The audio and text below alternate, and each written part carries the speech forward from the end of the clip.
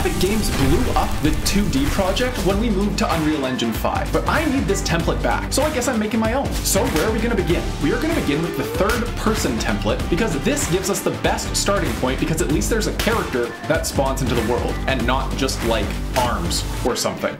So let's take a look and jot down all of the major differences that we're going to need to do if we're going to accomplish our 2D template. Currently, we can control the camera's perspective, and that is obviously going to need to go. And we can also move front and back as well as side to side. We're gonna need to restrict our player's movement to be side to side if we're gonna get that 2D feel. So let's start with the camera. Within Unreal Engine characters, the camera sits at the end of a camera boom. That camera boom is responsible for deciding how far away from the character the camera is going to sit, as well as the perspective or the rotation that the camera is at on the boom. And if that didn't give it away, to hit our 2D perspective, we are going to need to rotate the boom so that it sits at a different baseline than what it currently is around our character. So let's set this to be negative 90 degrees so that it sits on our character's side. And now we have this 2D vibe. Something else we need to do is change the relationship that our camera boom's rotation has with its parent. Right now we have the boom's rotation relative to the character's rotation, which leads to this uh, horrid and rather sickening pivot that takes place whenever our character turns. To fix this, we're going to set our rotation to be absolute, which means that it's relative to the world instead. So now that our 2D look is at the baseline looking okay, we're gonna go into the code and we're going to make sure that our player can't change it. Remember, the code is where the actual implementation or the stuff that does the stuff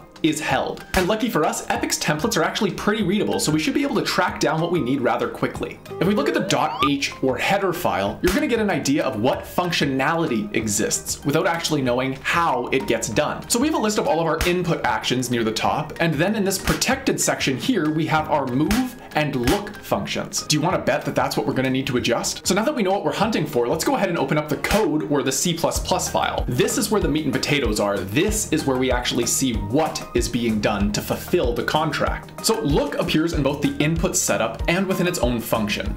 In the input setup, we are stating a relationship between the input action called look action and the function look within our code. Now, since we don't want our character to be able to look around at all, we're actually going to delete all of this code. And don't forget to go back into the header file as well, because we want to remove the look action and the look declaration from within the header file, since it's no longer going to be a part of our contract. So let's save and compile and see what we get. Uh, yes, now our character's forced to enjoy our 2D perspective. That's one step done. Now we can go and adjust our move move so that we can only move in the directions that we want to move. Now it's very crucial for me to note here that the directions and specifics that you want to implement here are going to depend on the offset that your camera boom has in relation to your character. Remember, the boom dictates the perspective and we're going to choose what is left and right based off of the perspective that we have chosen. But that being said, in this example, we have rotated our boom to negative 90 degrees, so that is going to be our starting point. If we analyze our move method, we have three major steps that are taking place. First, we get the way that our character is looking.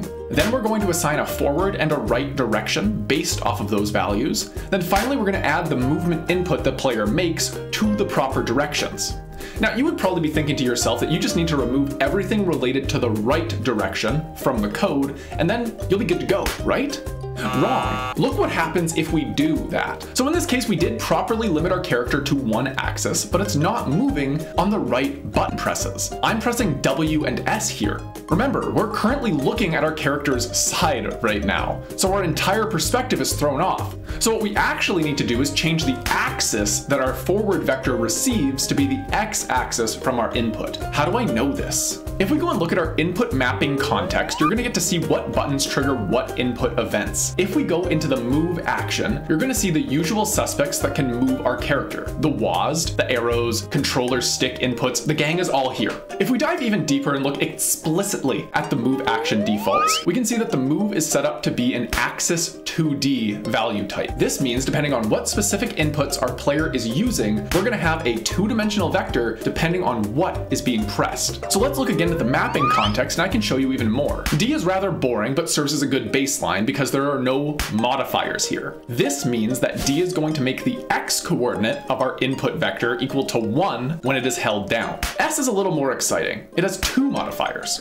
Negate means we are going to invert the value that we receive. Due to this negate value modifier, it is going to set x to be negative 1 instead. Swizzle is even more intense, as it controls what axis the input is stored in. So rather than storing this negative one in the x-axis, if there's a swizzle modifier, that says we're gonna store this in the y-axis instead. So armed with this general knowledge that the A and D keys are going to now be storing their values for inputs on the x-axis of our input vector, we know this is the axis that we care about. So if we go back into our code, we can confidently set our forward direction to use the x-axis of this movement vector. And boom, we look in game and our 2D movement is done. But this is not foolproof. Look at these three problems that just came up. First, our camera can get crazy when we have an object in the foreground that we're cutting in front of. Second, our character sassily turns away from the camera whenever we change directions. And finally, our collision can knock us off of our current line, which can be seen as uh, dangerously bad.